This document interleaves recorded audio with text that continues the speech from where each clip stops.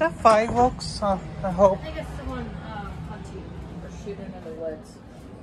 Is it wood? Go tell me that's time to eat. How many Yeah. rolls do you want? One to start. Go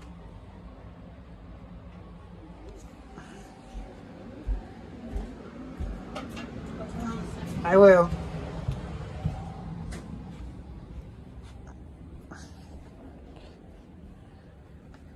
Um, it's time to eat.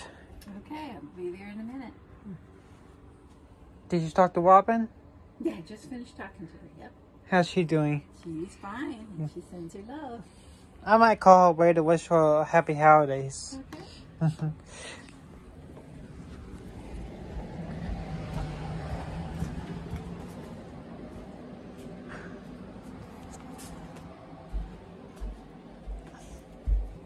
Oh, now I made Christmas dinner. Now comes the big cleanup with everything.